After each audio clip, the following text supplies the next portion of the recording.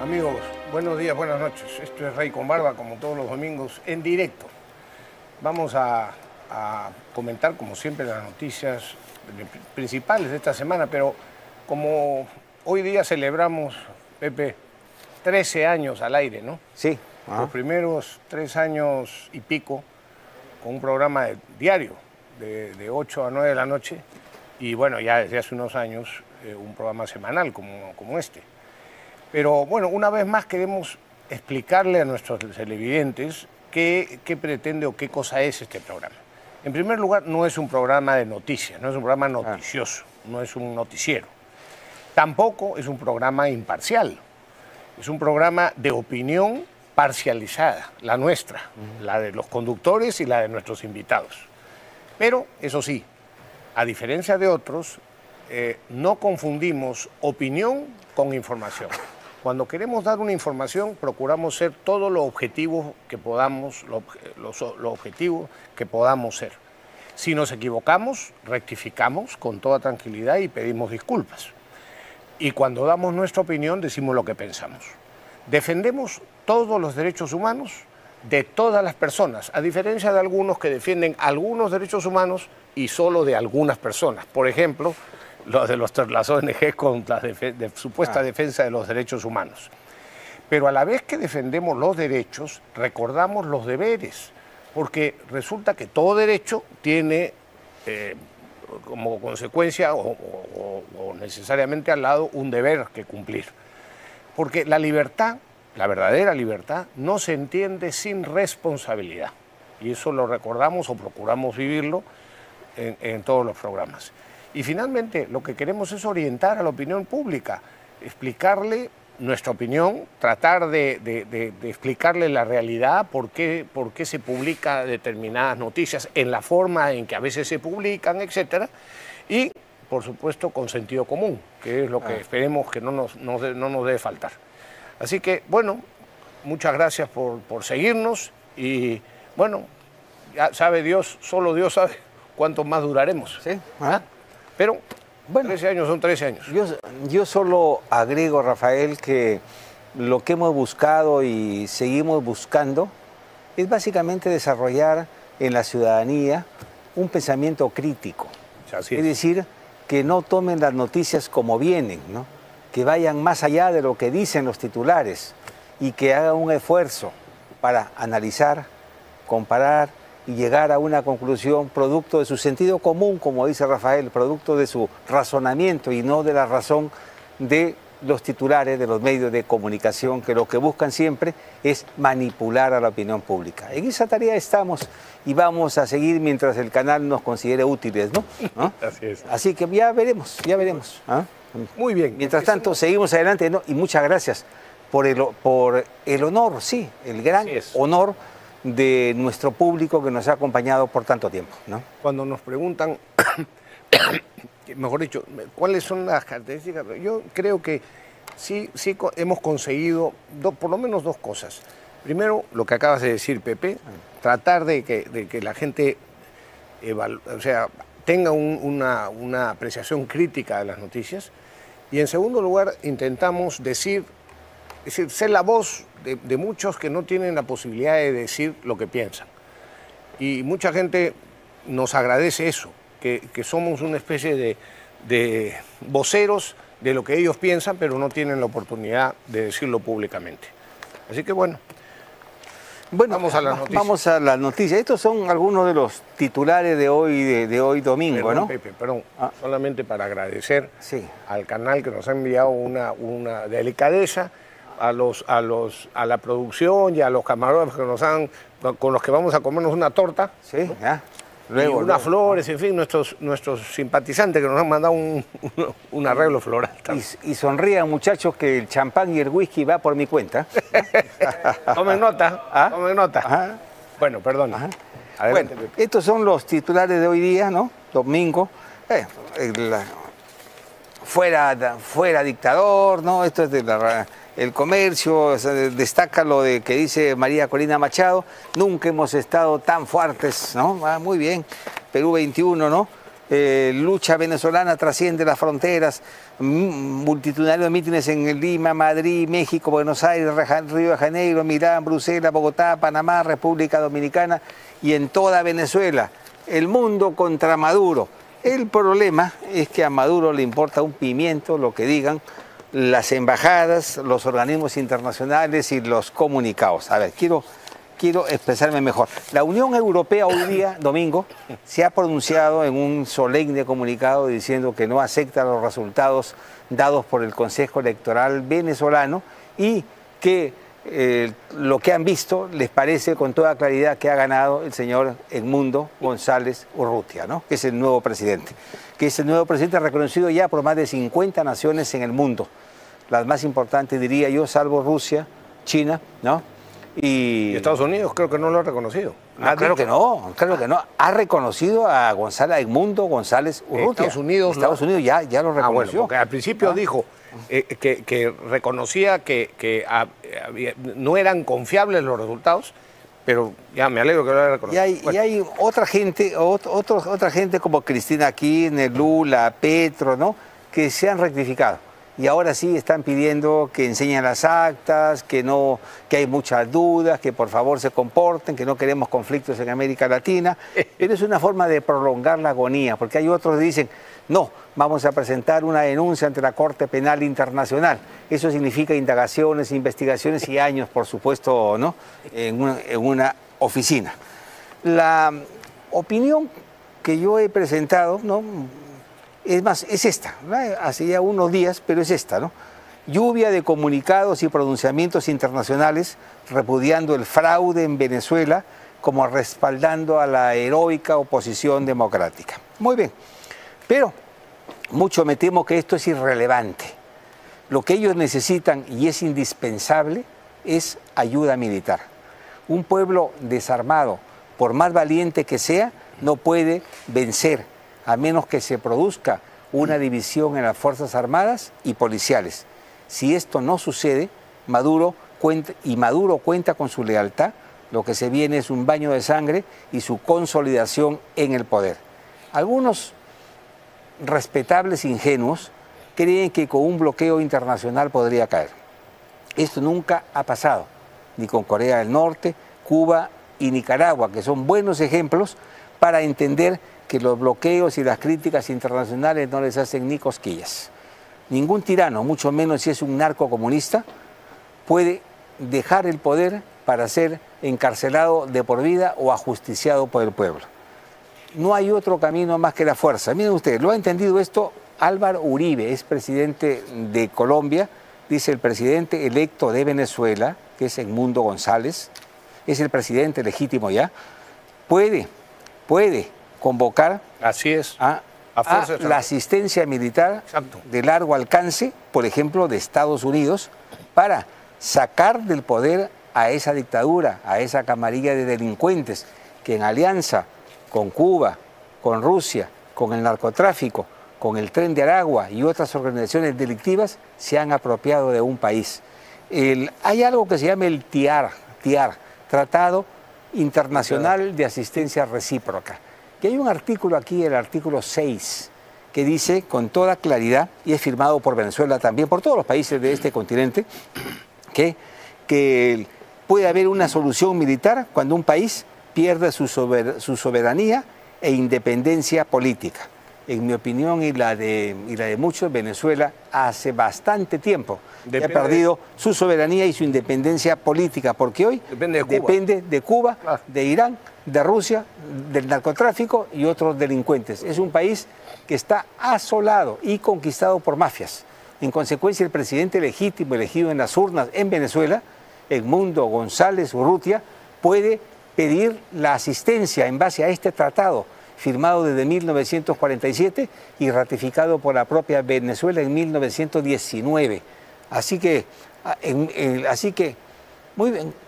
esa es la solución. Ese, es, el, camino. La porque de otra manera nos arriesgamos a lo que ha pasado siempre. Grandes manifestaciones, multitud de comunicados de apoyo y al final la gente se cansa y el gobierno se va consolidando. Igual número de muertos, porque lo van a matar de todas maneras. Yo Es, clarísimo, la, única solución que se ve es esa, efectivamente. Yo sí quiero destacar una cosa, Pepe, porque a veces quizás no, no, no, hemos profundizado, o algunos no han profundizado debidamente, la magnitud, digamos, la, sí, la magnitud del mérito de María Corina Machado, porque no es solamente una mujer honesta y valiente, que eso es evidente, ¿no? sino que en mi concepto también es, es una mujer inteligentísima que ha sabido planificar y conducir una estrategia que, que ha sorprendido a propios y extraños. Y, y han consistido básicamente en lo siguiente, además actuando con sencillez, con paciencia, con perseverancia y aparentando ingenuidad. Ella lo que planificó fue, ahora se ve, vamos a elecciones, aunque nos digan que somos unos ingenuos porque vamos a perder, porque van a hacer fraude. Vamos a elecciones, primera, primera, segunda. Segunda condición, vamos con cualquier candidato. Ella sabía que la iban a, vetar y, también a los que propusieran, pero finalmente aceptaron este, al candidato Edmundo González. Así que con cualquier candidato, vamos. Y lo tercero, vamos a conseguir las pruebas. Para conseguir esas pruebas que no se habían podido conseguir en elecciones igualmente fraudulentas anteriores, esta vez tenían a personeros debidamente capacitados y entrenados para conseguir las actas oficiales, es decir, las actas que salían del propio Comité Nacional Electoral. Y esas, con la ayuda, dicho sea de paso, de Elon Musk y su, empresa esta de Starlink, y, además con Twitter o X, les dio eh, eh, servicio de Internet para, para evitar el corte que se sabía, o sabían ellos que iba a producirse por, orden de Maduro, y que pudieran transmitir las actas oficiales, repito, en tiempo real. Así que han podido hoy mostrarle al mundo lo que en otras elecciones anteriores no habían podido, que son las pruebas eh, palpables del grandísimo fraude de Maduro. y con esto y, con, la, con lo que acabas de decir tú, Pepe, es evidente que la solución tiene que ir por ahí, y es perfectamente legítima, perfectamente legítima. Ah. Elon Musk lo ha tomado a la broma, ¿no? Y él dice, si ese payaso acepta subirse conmigo en un ring, en un ring de box, dice, lo llevaré a Guantánamo en burro, dice, ¿no? Musk tiene 200 millones de seguidores en el mundo, pues, ¿no? Y entonces, ¿qué hizo Maduro? Ah, muy astuto, lo bloqueó. Al, dueño de X, lo bloqueó en Twitter, ¿no? Entonces, ¿qué hizo, ¿qué hizo el dueño de Twitter? Se desbloqueó, pues. ¿Ah? son brutos. Unos que no son para reír, sino para dar pena, son los comunistas peruanos. ¿ah? Estoy hablando de casi todos en general. ¿Ah? ellos, cinismo, ellos han expresado con claridad inequívoca su posición frente a la represión, el crimen y el fraude que se comete en Venezuela. Entre la democracia y la tiranía, han optado por la tiranía. Entre el pueblo y los dólares sucios de Nicolás Maduro, han optado por esos dólares sucios que les encanta. Esto, esto como dije antes, no inspira, no inspira piedad, sino repugnancia. ¿no? Ahora, la pregunta es, ¿se dan cuenta lo que significaría esto si hubiese ganado, si, se hubiese consolidado el golpe de Estado del señor Castillo. Oh. estaríamos igual, o peores que los venezolanos, porque aquí se trataba de una dictadura neosenderista, ¿no? Y el señor Josué Gutiérrez, que Augusto Álvarez, no que lo estoy confundiendo, que Augusto, Augusto Sonday, le, ha, le ha metido un palo. El pobre dice, pues no, no es ningún pobre, Pepe. No, pues, yo soy... Ningún pobre. Es un buen muchacho. Lo que ¿Cómo va a ser un buen muchacho, Lo que pasa es que tiene el saco ideológico sobre las espaldas. Bueno, pues, pero... Es discípulo de Vladimir Cerrón. Bueno, pues por pues, eso. ¿no? Hubo una negociación. Para ser discípulo de Vladimir Cerrón, en las actuales circunstancias hay que ser yo pensé que era bastante sinvergüenza y, muy poca capacidad intelectual, cosa que se demuestra en cuanto lo oyes hablar. Pero bueno, perdona. Yo pensé que era, yo pensé que era más listo, ¿no? Pero ese saco ideológico que lleva sobre las espaldas lo ha llevado a hacer el ridículo diciendo una torpeza como es como que se demuestra que Venezuela es un país democrático porque solo un país democrático puede convocar a elecciones democráticas. es un chiste, es un chiste, es un chiste, pues, hombre, ¿no? ¿Cómo va a ser? ¿Ah? Lo dice en serio, Pepe. Lo dice en serio, son claro sus declaraciones. claro que lo, claro, acá lo tengo. ¿Sí? Claro, claro que lo, claro que lo, que lo dice en serio. Quien sí da una opinión contundente es Andrés Oppenheimer, ¿no? Él dice lo de Venezuela es la madre de todos los fraudes. En toda mi vida, en mis 40 años de cubrir noticias internacionales, dice, nunca he visto nada más escandaloso. Las pruebas son contundentes, ahí están las actas. Ahí está la empresa norteamericana Edison, que es muy reconocida porque es la que hace todos los sondeos en los Estados Unidos, nada menos, y le da una victoria abrumadora pues, al candidato de la, de la, de la oposición. Y ahí está el hecho de que no pueden presentar las actas porque las están fabricando las falsas que van a presentar y es absurdo, pues, ¿no? Dice, no hay duda, esto es un fraude escandaloso, es un robo a mano armada, ¿no?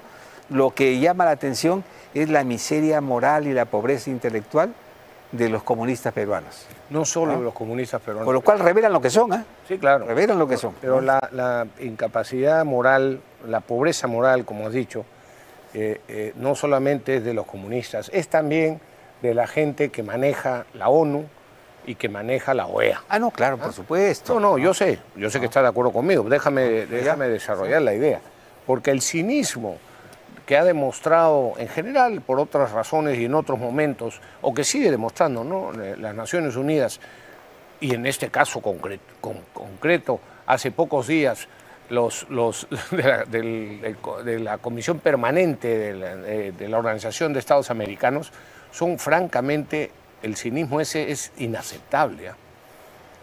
Y lo peor, lo peor de todo, es que esos cínicos los financiamos con nuestros bolsillos. O sea, del dinero que, nos, que, el Perú nos saca, que el gobierno peruano nos saca de nuestros bolsillos a través de los impuestos, financiamos a esas instituciones que están podridas desde el punto de vista moral y desde el punto de vista legal. Y en, el frente interno, dicho sea paso, ya que estamos hablando de abusos, solo en este primer trimestre, perdón, primer semestre, Petroperú, escuchen amigos televidentes, ya perdió 452 millones de dólares, solo en el primer semestre de este año, de enero a julio. Desde el 2023 ya Petroperú ha perdido 1.732 millones de soles y el gobierno de, la señora Boluarte y el, actual ministro de Economía eh, piensa darles eh, 3 mil millones de dólares en bonos adicionales. ¿Ah? ¿Hasta cuándo? Pregunto. Solamente quiero que me contestan. ¿Hasta cuándo nos van a seguir robando de esta manera? ¿Hasta cuándo? Me van a responder. para, ahí dejo la pregunta. solo, perdón, sí. quizás solo se detendrían si un gran sector de la prensa peruana e, exigiera que se detengan este derroche de dinero y de abuso contra el derecho de todos los peruanos, especialmente de los más pobres. Solo si la prensa ajocha al gobierno a los, y por supuesto a todos los funcionarios de estas, de estas empresas y de estos ministerios que tienen que ver con el tema, solo así podríamos detener este abuso y este derroche. Para acabar con el tema este de Venezuela, Rafael, algunas inquietudes, ¿no? Yo dudo mucho que Estados Unidos no se tome en serio el tema de Venezuela. Ya se han pronunciado desde el Parlamento y desde la Cancillería norteamericana, que es el Departamento de Estado, de una manera muy fuerte contra Maduro, y le han dicho con claridad, nuestra paciencia se está agotando, nuestra paciencia se está agotando. Y Maduro no ha respondido como un matón, sino vamos a dialogar. Y parece que la intención de Lula y de Petro es llevarlo por ese lado. Y si la resistencia venezolana continúa, obligarlo a renunciar, evidentemente dándole amnistías, indultos y otra serie de preventas que me imagino que los demócratas venezolanos podrían aceptar para encontrar una salida que no sea sangrienta. Esa es una posibilidad lejana porque un comunista no deja el poder. Esa es la regla de oro. Esa es la regla de oro, ¿no? Yo Ahora, de acuerdo. si Lula y otros lograsen la hazaña de convencerlo de un retiro dorado, entonces, muy bien, muy bien, ¿no? Ahí es, quisiera yo ver. es una posibilidad, Sí, ¿no? sí, no le quito el, el- la- el- Pero, perdón, un cierto porcentaje de posibilidad, solo como posibilidad, no como probabilidad, pero como posibilidad sí. sí, sí. Ahora, ahí quisiera ver a los cínicos que para los que no han sido comunistas y han sido dictadores, los han perseguido por delitos de lesa humanidad hasta el final de sus vidas o los han, los han este, condenado. ¿no? Yo quisiera ver si, si probablemente harán lo mismo que con Fidel Castro. Bueno, Fidel Castro murió, o con Raúl Castro, que dejó de ser presidente, pero no le hicieron absolutamente nada, ¿no? Por ejemplo, Amnistía Internacional, que habla de derechos humanos, ¿no? Ahora, Ya quisiera ver yo la hipocresía Ahora, de estos. Nosotros, vemos en los medios de comunicación la pobreza que hoy reina en Venezuela, el salario mínimo vital que es de 3 dólares, que imaginan ustedes, ¿no? Llegan a 4 dólares. Es un país muy rico, es el país más rico en recursos naturales de América Latina. Tienen todo, tienen las mayores reservas petroleras del mundo para comenzar. No, tienen gas, eso, pero no tienen mucha más. Ah, tienen gas, tienen minería, tienen para explotar todo. Es un país muy rico, pero gerenciado por comunistas. Y eso significa pues pobreza, hambre, miseria, robos, crímenes, ¿no? Olvídense, ¿no? Es lo mismo que poner al mando a la- una organización delincuencial. Ahora, la, la- la migración venezolana es aterradora. No hay, en, no hay en los anales de la historia un país donde 8 millones de venezolanos ¿no? se hayan, hayan, Más que en el África. hayan fugado del país. Y cuidado que se puedan ir 2 o 4 millones más, lo cual haría 12 millones. Y las consecuencias, claro, las vamos a pagar todos en América Latina y también los Estados Unidos y también por, por Europa. Pero hay otro factor. Geopolíticamente Venezuela está ubicado estratégicamente de cara a Centroamérica y a Estados Unidos y acá, toda América del Sur. Para Cuba es fundamental, porque Cuba ahora vive del petróleo venezolano y de la ayuda venezolana. Sin, sin Venezuela, Cuba se extingue, se apaga Sí, sí, por supuesto. se apaga completamente. Entonces, geopolíticamente, esto es algo que a Estados Unidos le conviene, le conviene mucho. Este es un país que siempre mete sus narices sin permiso de nadie, ¿no? Todo el mundo. ¿Por qué no lo hacen aquí? Y además tienen un documento internacional firmado por ellos también, por Venezuela y por todos los países del continente, el TIAR, la asistencia recíproca cuando un país pierde su independencia y su soberanía.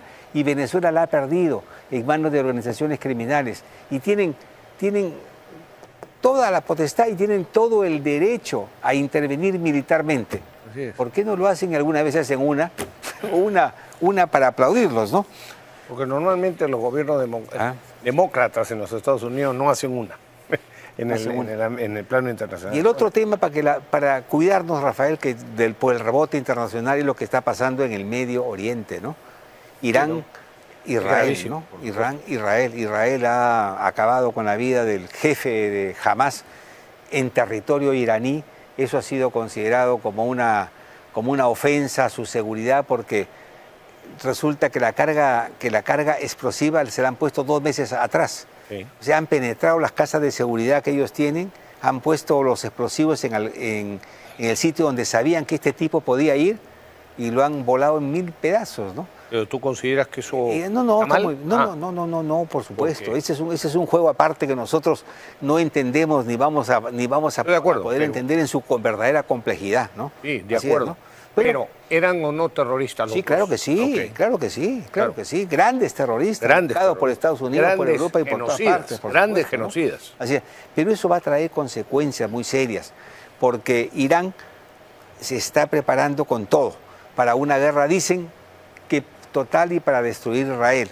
Están bajando a aviones todos estos días cargados de no sé se sabe qué, de Rusia, ¿no? Sobre todo de Rusia. Y Netanyahu, por su lado, ha respondido que ellos están preparados para responder en todos los frentes y que su ataque será en proporción a los ataques que ellos reciban. Y detrás de, de Israel está, por supuesto, Estados Unidos, que le han advertido a Irán y al mundo que ellos respaldan a Israel con todas las fuerzas, con todas sus fuerzas, ¿no?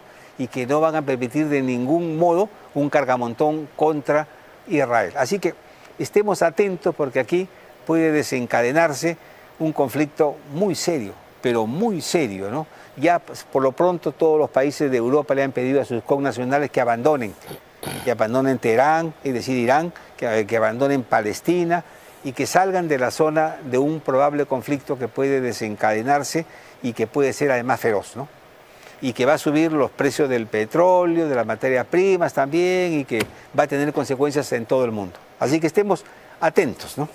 Bueno, y, volviendo al, tema nacional, Pepe, hay eh, el tema de la imprescriptibilidad de los delitos de lesa humanidad. Una vez más, en resumen, cuando el Perú se adhirió a la Convención de Imprescriptibilidad de Delitos de Lesa Humanidad, lo hizo con una expresa condición que la estableció en la propia resolución legislativa.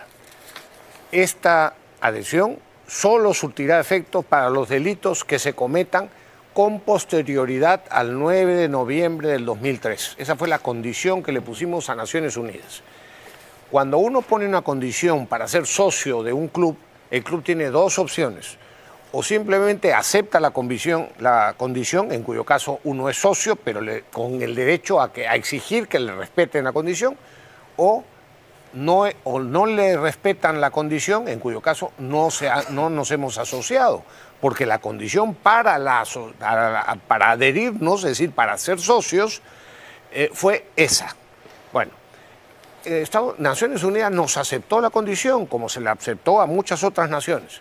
De manera que la ley que ha, precisado cuáles son los alcances de la prescriptibilidad que aprobó el Congreso en dos, en dos este, eh, votaciones, es completamente viable.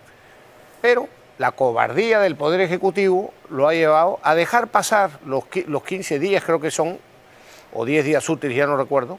En fin, no importa. Ha pasado el tiempo y el, y el Poder Ejecutivo cobardemente ha actuado, mejor dicho, ha dejado de actuar. No ha observado la ley, pero tampoco la ha promulgado. Entonces, ¿a quién le corresponde ahora constitucionalmente promulgar esa ley? Al Congreso de la República.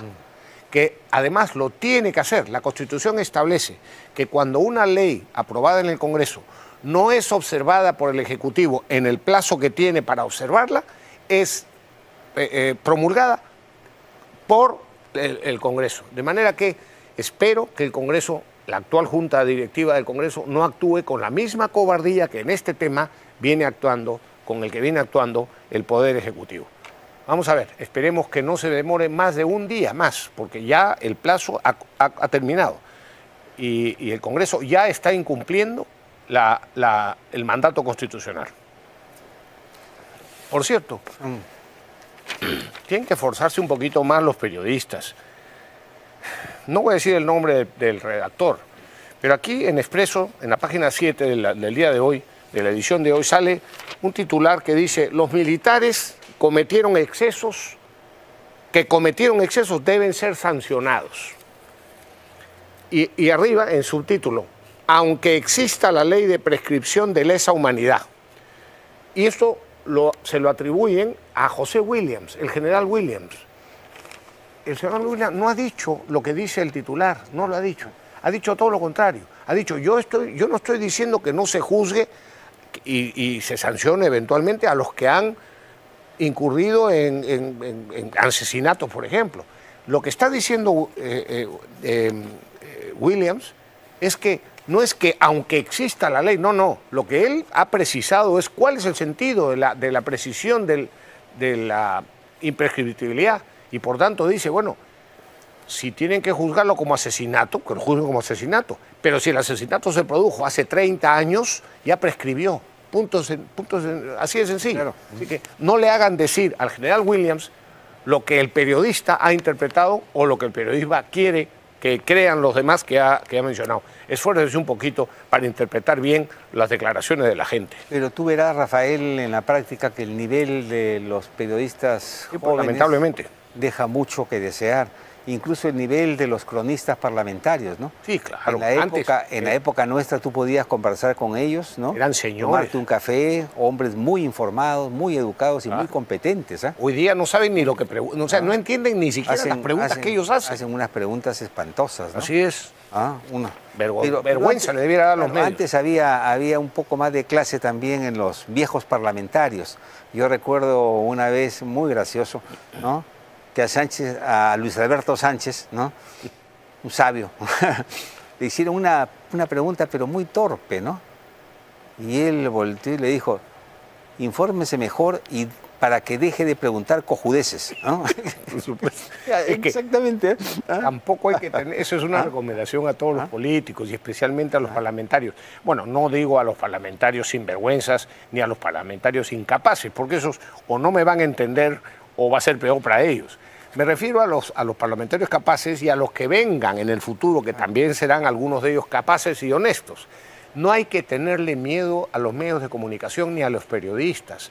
Cuando te pregunten una tontería hay que decirle eso, oiga señor, o señorita, o señora, no pregunte usted tonterías, infórmese bien, como, como, Ah, como dijo Luis Alberto Sánchez.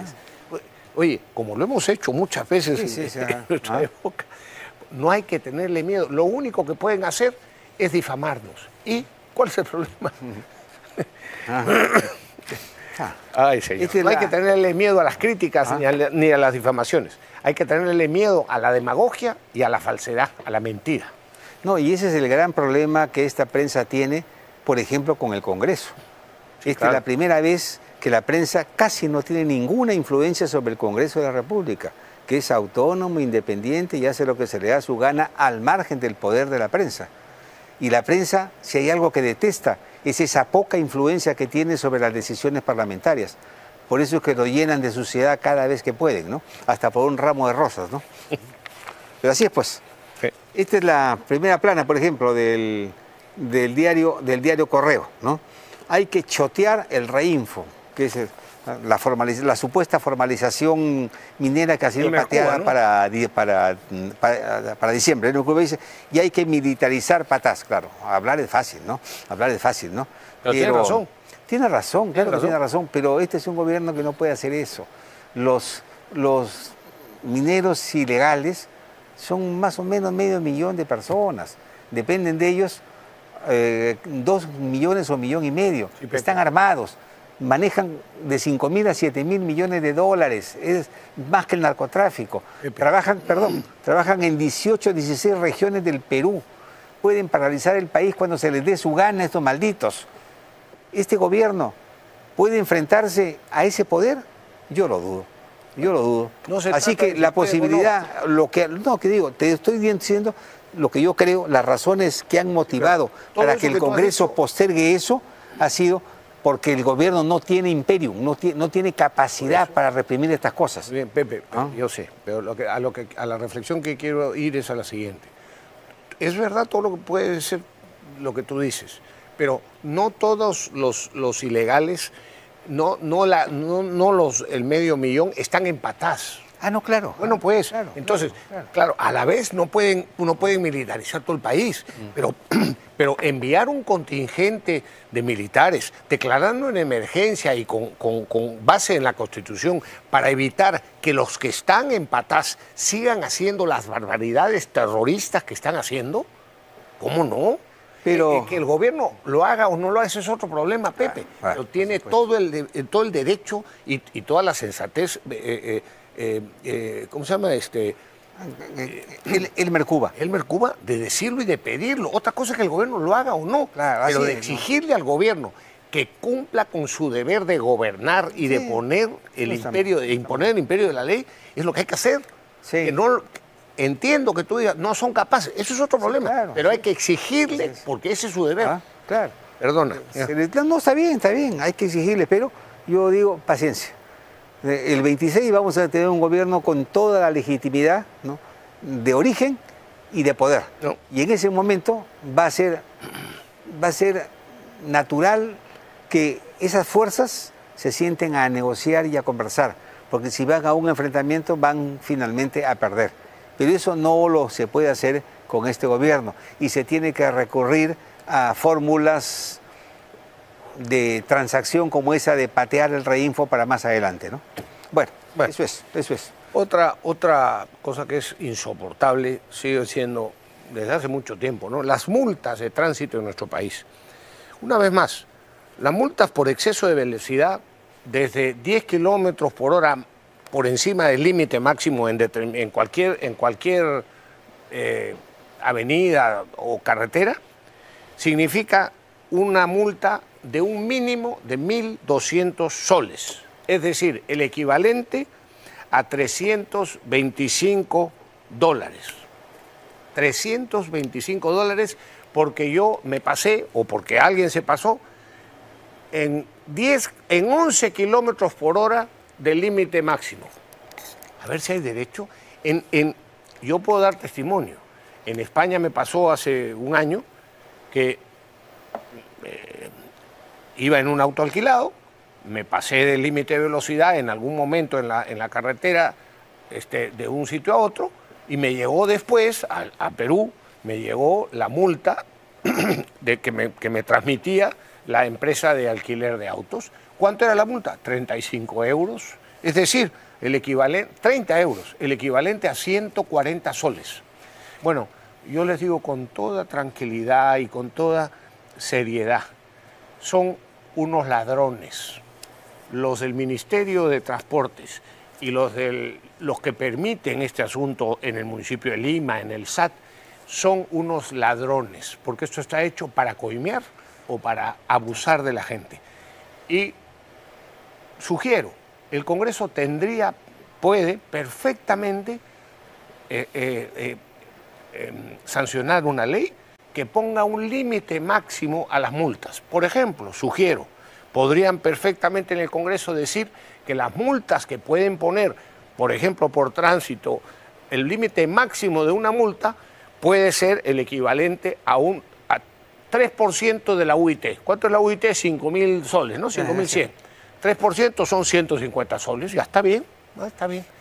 Miren, las multas altas no van a evitar los accidentes, al contrario, van a seguir eh, habiendo los accidentes porque se producen por otras razones, también por excesos de velocidad, pero no por exceso de velocidad de 10 de 10 kilómetros por hora por encima del límite, no fastidien. Le cobran igual al que va a 180 kilómetros por hora por una carretera que, cuyo límite es 100 que al que va a 112 kilómetros por hora por la misma carretera.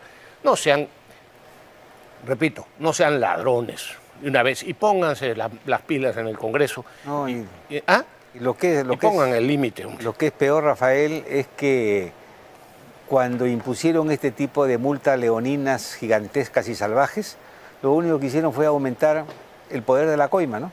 Por supuesto. Y por supuesto. lo que los taxistas, la gente normal pagaba, le daba una propina a un policía de 10 soles, 20 soles, subió de frente, a 500 soles, por ejemplo, ¿no? Promovieron la coima de manera escandalosa, ¿no? Y eso es lo que tenemos hasta ahora. Y además son ingresos propios de las instituciones que cobran esto, ¿no? Claro, el SAT, por ejemplo, en la, Municipalidad de Lima. si un ministro, esto depende del ministro de Transportes y Comunicaciones. Si un ministro de Transportes y Comunicaciones no, no responde o no, o no da una solución a un problema que angustia a cientos de miles de compatriotas, debería ser censurado, ¿ah? debería ser censurado por falta de humanidad, por falta de sentido común, por falta, por falta. Pero Sí, ah. estoy de acuerdo contigo, pero el Congreso también tiene, también tiene la posibilidad de poner un límite. Por eso, claro, ah, claro, claro que sí, claro que sí. O sea, que no lo hace el ministro, ese, tipo, ese tipo de ministros insensibles y que actúan sin piedad con los ciudadanos peruanos deberían ser despedidos de inmediato, porque no merecen estar en la función pública. A la función pública se llega para ayudar, para servir, para proteger, no para aprovecharse de ella ni para robar, que es lo que hacen los, y aprovecho. No, diré los ministros actuales, pero lo hacen muchos burócratas. pero los ministros que no tienen sensibilidad no deben estar en el poder.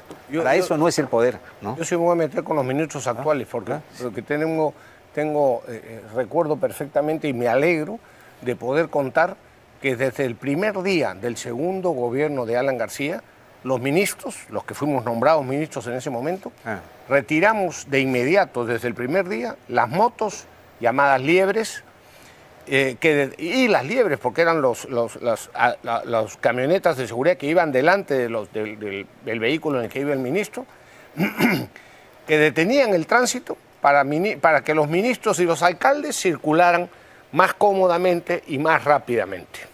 Esa actitud de detengan a los demás para pasar. Yo se impuso otra vez en los siguientes gobiernos, ocupados por personajes atorrantes, henchidos de vanidad y de soberbia, que muestran la mala educación que han recibido en sus propias familias, la guachafería de sus actitudes, la indecencia de su comportamiento, la pretensión y el complejo que demuestran y el abuso y el atropello al que someten a los ya sufridos ciudadanos con esas prepotencias tan indignantes y miserables que reflejan la pobre idea que tienen, como acabas de decir tú, ah. Pepe, del pequeño y temporal poder que ostentan por un tiempo. No entienden, no entienden que son empleados públicos, empleados de los ciudadanos, servidores nuestros, que nos deben respeto y ejemplaridad y no abusos y atropellos. Cuando sufran una paralización para darle pase a un ministro o a un alcalde, yo les propongo que les expresemos nuestro rechazo y nuestro repudio, gritándoles, da ejemplo y no, sea, y no abuses, por ejemplo, o como quieran, ¿no? A ver si, si lo repetimos esto, de repente, de repente empiezan a rectificar. Es muy sencillo.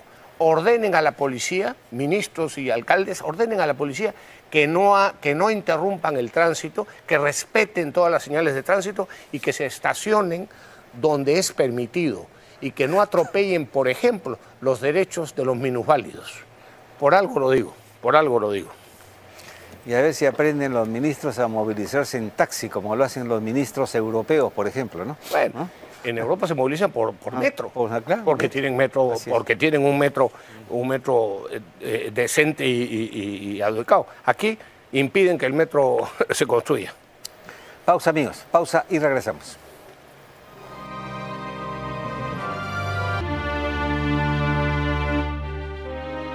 Ninguno se salva de su radar. Yo en principio no le daría un mango al cine peruano. Gastemos en, cosas que valen la pena, hospitales, carreteras, etcétera, que faltan en el Perú, que en hacer bodrios. ¿Quién los tiene en la mira? ¿Por qué ha subido la pobreza? El 63% piensa ver, que es Nordina, que a la inversión privada se fue al suelo. ¿Por qué? Por esos 8 millones de cerebrados que votaron por Castillo. Y porque le tenían miedo al niño. Yo Caviar, con Aldo Mariategui, solo por Willax.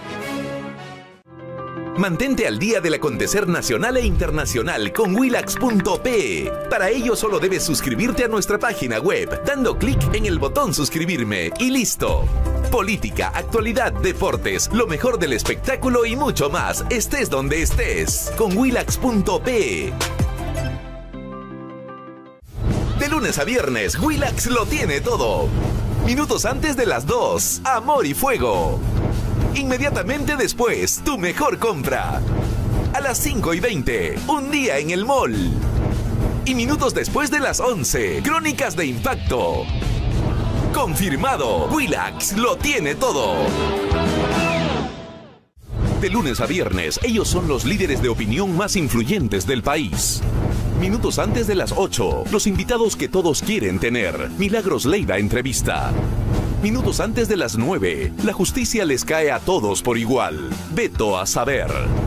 Minutos después de las 10, él no le teme a nadie. Combaters. Confirmado. Willax. Más opinión siempre. José Gregorio Hernández. El doctor del pueblo. Domingos, minutos después de las 2, solo por Willax. El único periodismo libre que se ejerce sin coacciones de ningún tipo es aquí, en Williams Televisión. El que no se elogia, de ruin se muere. Donde los propietarios no se inmiscuyen en nada, ni para lo que decimos ni para lo que pensamos.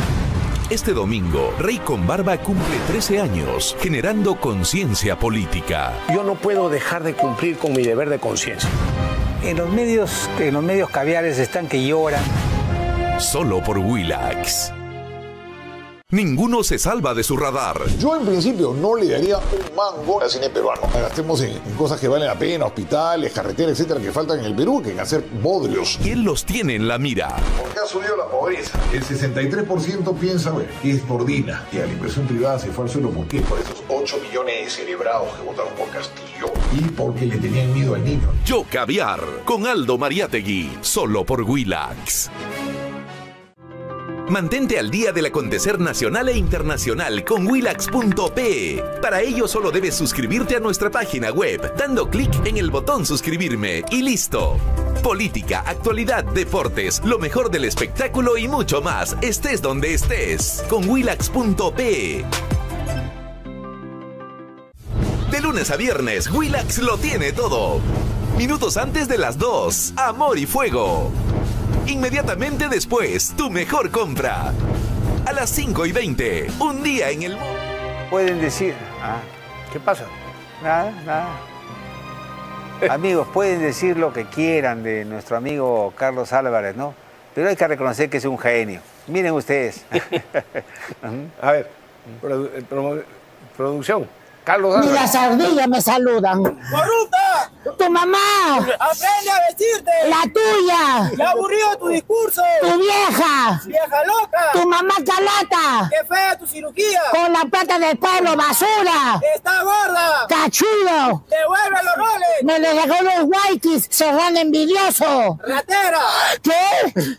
¡Ratera! ¡Concha tu máquina! Presidenta, por favor, tranquilícese, contrólese. Presidenta, no se rebaje. Acuérdese de que usted es la presidenta de la República y además usted es una delicada dama. ¡Calla!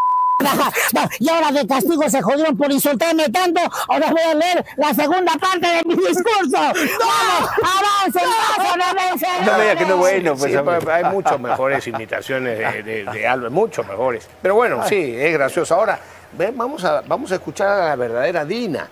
Fíjense ustedes cómo engañan a la gente. Felizmente hay este video y hay otros muchos similares donde se, se aprecia verdaderamente cómo nos manipulan, cómo nos engañan, cómo nos toquean. Van a ver ustedes a, la señora Dina Boluarte diciendo, refiriéndose a los mismos hospitales prometidos en el, el año pasado. Bueno, sigue diciendo exactamente lo mismo este año. A ver, pónganla por favor a la señora Dina Boluarte.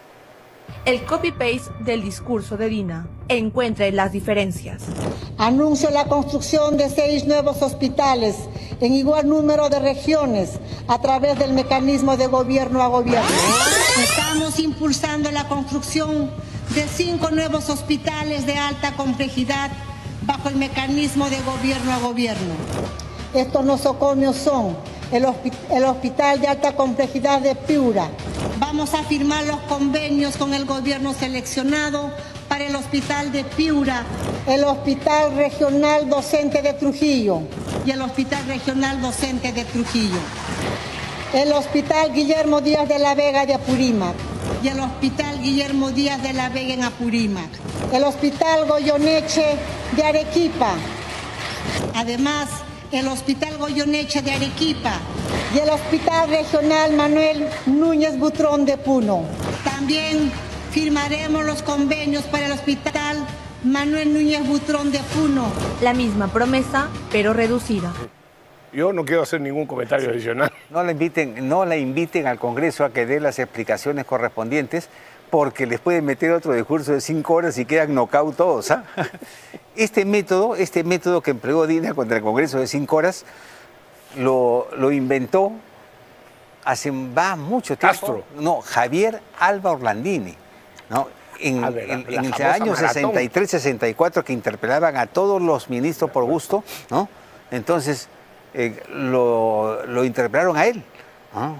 Y ¿sabes qué hizo? Le- Habló como seis o siete horas, ¿no? Y entonces lo maldecían. Todo, eh, nunca más lo volvieron a, a invitar, ¿no? Nunca. seis, siete horas, ¿eh? Impresionante, ¿eh? Ah.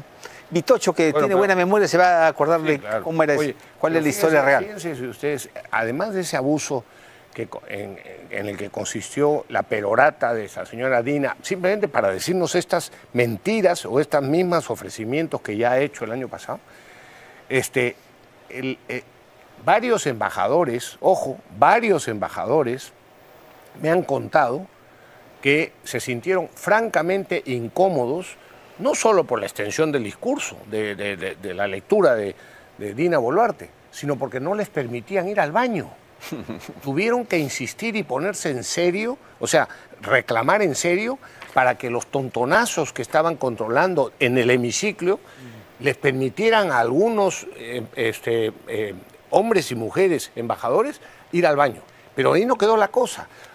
En las excepciones que les permitieron ir al baño, resulta que en la puerta del baño les pedían su identificación, es decir, que les den o su DNI, bueno, en caso de nacionales, o su eh, eh, credencial de embajador o su número de pasaporte. que sea. Es que no hay derecho que se haga esa, que se deje al país en esa, eh, en- con esa vergüenza de pedirle a los embajadores que se identifiquen. Y en la tarde del 28 de julio, en el saludo protocolar de las autoridades en Palacio de Gobierno, a los embajadores de los distintos países les exigieron, los obligaron a dejar no solo su celular, en el caso de algunos embajadores, les exigieron que dejaran el- el- el- el watch este que se conecta con, con el, con el celular, ¿ah? el smartwatch, ¿no? Lo- los obligaron a esto. Fíjense ustedes qué ridículo eh, que hacen esto- estas autoridades. Lo peor es que no son, no son ellos los desprestigiados, sino el Perú, que es visto como un país, una republiqueta asquerosa, ¿no?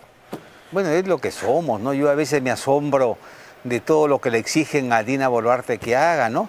Y se olvidan que es una empleada de tercer nivel que se encontró de casualidad la presidencia. Se olvidan que no es Margaret Thatcher, pues, no es, no es, no- es, no es la, ¿cómo se llamaba esta, cómo se llama la italiana Meloni? No es, no es Meloni, ¿ah? no es Hillary Clinton, es Dina Boluarte. Tiene sus límites, tiene sus tiene, tiene muchos límites y hay que ser comprensivos. Eso es lo que nos tocó, pues eso es lo que nos tocó. Esperemos que la próxima vez voten mejor y piensen también en los vicepresidentes, porque en un país como el nuestro los vicepresidentes terminan gobernando, ¿no? Así que ojo con eso. Corte, ¿no? Nos piden una pausa, ¿no? No, ¿Ah? no, todavía. No, todavía. Yo quiero comentar lo siguiente. Cuando les toque sufrir las consecuencias de la falta de atención de salud a tantos millones de peruanos, que sepan que los gobiernos regionales le deben a salud 1.261 millones de soles del dinero que le descuentan a los empleados en las planillas y que no le transfieren a salud. Fíjese si no serán ladrones también los gobiernos regionales. Así está, por eso está como está la salud pública del país. Y se les trasladó la educación y la salud precisamente en el proceso de regionalización y, des- y descentralización, ¿no?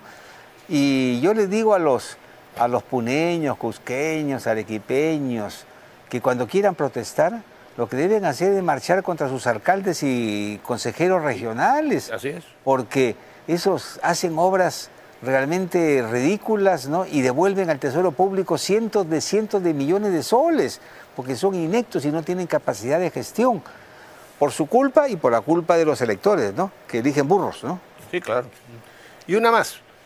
Eh, miren la falta de responsabilidad del ex contra, hoy ya ex contralor, felizmente, el señor Schack. Yo no sé cómo será el dueño, el nuevo, digo. Ojalá que sea mejor, porque peor es difícil que sea. En el 2018, el, sí, 2018, Martín Vizcarra, presidente, y el entonces contralor Nelson Schack endeudaron a la Contraloría por 370 millones de soles con el BID para la capacitación, comillas, para, la para una función inexistente. El proyecto se llamó Mejoramiento de los Servicios de Control Gubernamental para un control efectivo, preventivo y facilitador de la gestión pública. Fíjate los títulos que ponen, ¿no? Muy bien. Y resulta que esa función no existió y que además fue anulada porque fue este, una pretensión de la Contraloría de querer poder eh, sancionar administrativamente a los, a los empleados públicos, cosa que el, el Tribunal Constitucional rechazó, por supuesto. Y, y otras cosas que van a ir saliendo, lamentablemente. También habla de Jack y de sus amigos. El señor Luis Miguel Iglesias León, que fue secretario general de la Contraloría y después vicecontralor, nombrado por Jack, por supuesto, tenía supuestamente, si nos vamos, maestría en alas peruanas y doctorado también casualmente en alas peruanas. Bueno, lo han renunciado hace cuatro días. No sé, no sé cuáles serán las razones, pero valdría la pena averiguar si estas maestrías y esta maestría y este doctorado en realidad se hicieron, porque alas peruanas tiene fama, ¿no? Tiene fama. Muy bien. Vamos, vamos a una pausa. Vamos a una pausa y regresamos.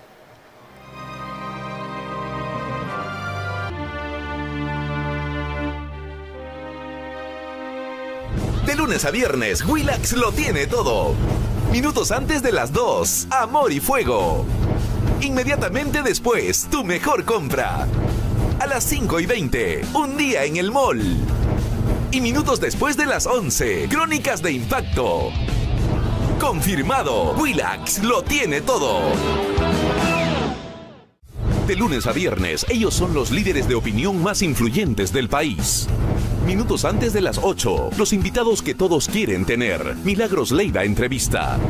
Minutos antes de las 9, la justicia les cae a todos por igual. Veto a saber. Minutos después de las 10, él no le teme a nadie. Combaters. Confirmado. Willax. Más opinión siempre. José Gregorio Hernández. El doctor del pueblo. Domingos, minutos después de las 2, solo por Willax. El único periodismo libre que se ejerce sin coacciones de ningún tipo es aquí, en Willax Televisión. El que no se elogia, de ruin se muere. Donde los propietarios no se inmiscuyen en nada, ni para lo que decimos ni para lo que pensamos.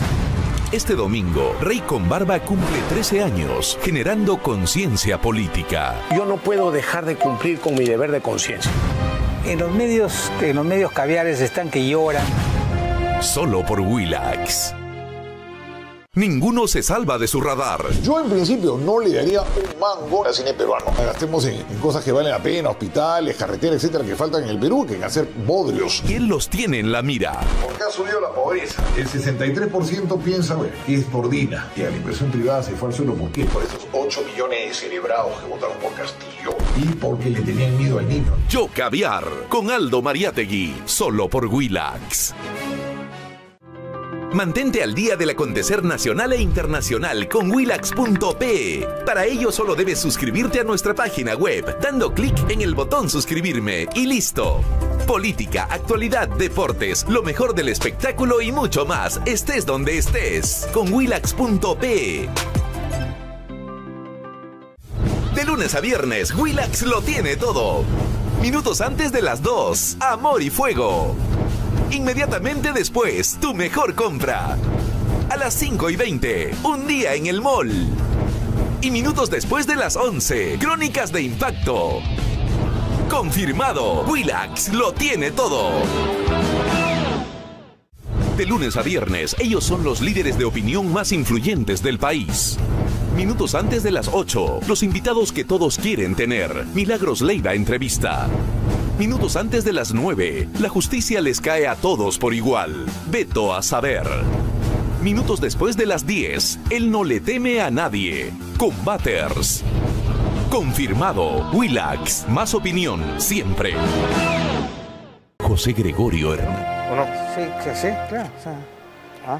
¿Qué nos queda? Bueno, Aún- aún hay- ah, El escándalo, A ver. el escándalo en el colegio Roosevelt, realmente. ¿ah? A ver, a ver. Bueno, los padres de familia tendrán que ver ese y por supuesto el Congreso y el, Ministerio de Educación, porque están imponiendo la ideología de género, el aberrante lobby homosexual y el adoctrinamiento sexual abusivo en los libros de texto de los niños en el colegio Roosevelt. Lo ha denunciado con pruebas y mostrando los textos, no vamos a mostrarlos, ¿ah? no los pongan en primera plana, porque dan verdadera vergüenza. Así que yo invoco al Ministerio de Educación y al propio Congreso, en concreto a la Comisión de Educación, que sancionen esa ilegalidad, porque me parece que es una ilegalidad, además de un abuso. O la, o la, o la detienen o se convierten en cómplices. Los que quieran profundizar en la noticia, vean el canal eh, virtual de Pancho de Pierola, que muestra todas las pruebas de lo que acabo de decir. Vergonzoso lo de Roosevelt, vergonzoso. Sí. ¿Qué más? Y el, lo de... Ah, la portada de Expreso. La- esa es la portada del diario Expreso para mañana.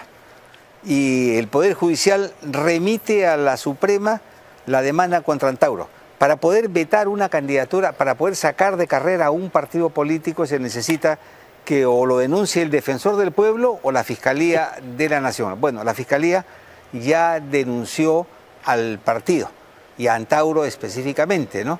Y, vamos, y, y- el- y lo han de- derivado a la Sala Penal Constitucional Suprema. Vamos a ver. Entonces vamos a ver, ¿no? Vamos a ver qué pasa. Pero argumentos sobran, ¿no? Porque el señor Antauro Humala de demócrata no tiene pero ni un pelo, ni un pelo, ¿no? Y si Maduro quisiese rena- rena- renacer en alguien, lo haría específicamente en este, ¿no? en Antauro. ¿ah? Nos tenemos que ir. Muy bien, amigos, tenemos que concluir. Y eh, hoy día es el. eh, perdón, es- Luna. Ah, hoy ah, es cumpleaños también de... Iván Poma, que le, Iván le- Poma. le vamos a dar doble ración de postre entonces. ¿eh? Sí, sí, doble Muy bien. ración. Amigos, pásenla bien. Buenas noches, cuídense. Se quedan con Javier Luna en Noche de Luna. Sí. Ah, muy bien.